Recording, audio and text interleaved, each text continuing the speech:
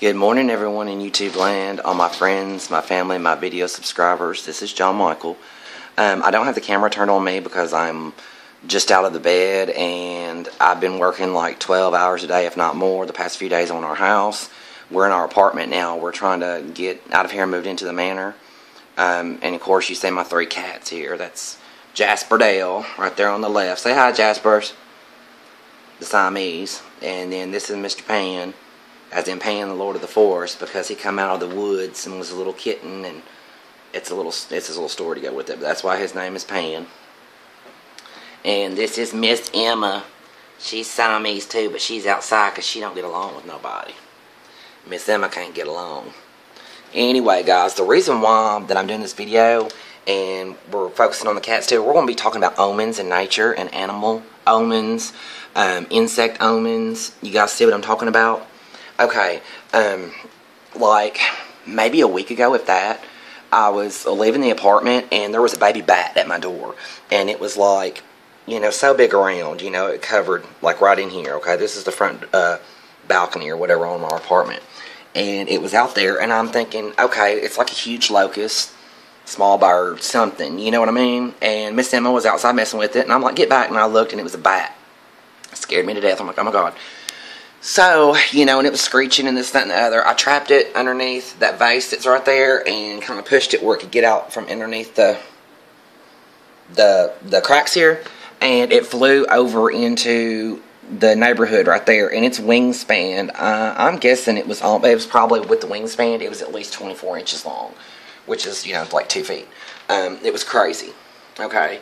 And I had some thoughts of my own about when I seen a bat what might that mean? And I ran it by a, a good friend of mine um, and seen what her thoughts were about it.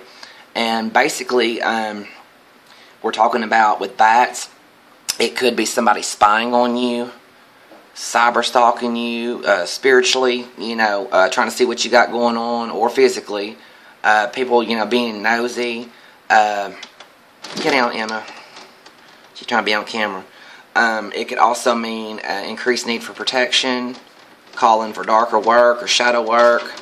That was my one of my girlfriend's answers, you know, and that that's too what I'm thinking too. Also, along those same lines, it could also be somebody that's, uh, you know, uh, I'm not saying like vampires or whatever, but I'm saying like people that are trying to see what you got going on to you know not really like a succubus or whatever but like a uh, increased need for protection is what i'm saying. Like you know when uh, uh, the bat.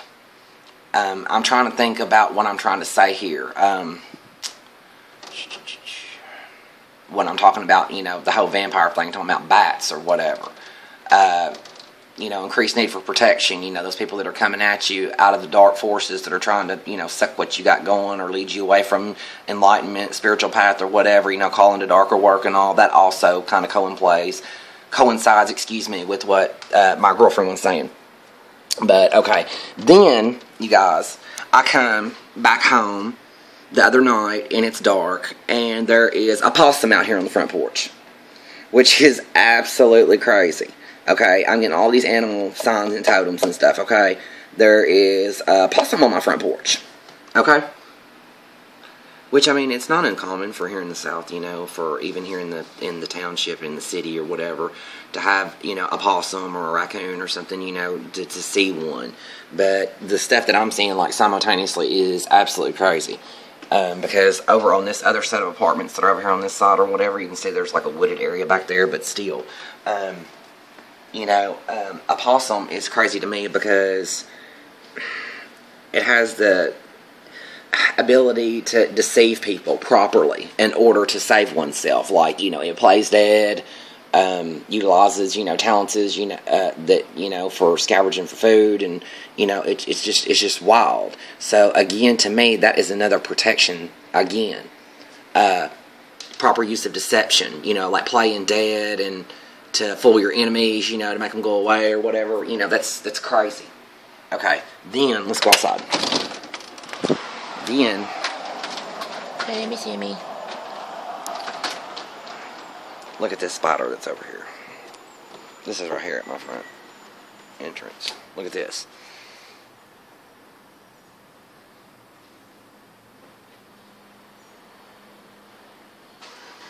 That wall, guys? Look at that. And I mean, mind you, it's it's August and it's still getting up to 100 degree days. And look how close the spider is to the house, like it's almost fall, winter time. They only do that during that time. Look at that. God, we're gonna walk back inside because there's people everywhere and they're like, what is he talking to? but basically, yeah, and you know, look again, a spider's web is a very protective symbol in my opinion. You know, the web, to me, the spider's web, um, that's its home, that's its safe zone. It's protected in there because, um, you know, the web catches, it filters. You know, think about like the dream catcher. Um, here I'm gonna go again. I'm gonna reference, you know, um, like building and construction because the spider is its own architect. It constantly builds every day, tears down and rebuilds the next day. Uh, it's its safe haven, its nest, uh, its protective shield. Like I said, things filter through it, things get caught in it. You know, um, there again, that's a very protective symbol for me as a spider, and like it's its own architect. You know, kind of like I am.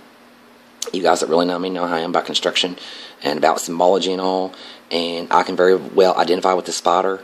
Um, look at this. These are two armchairs that I have in my home.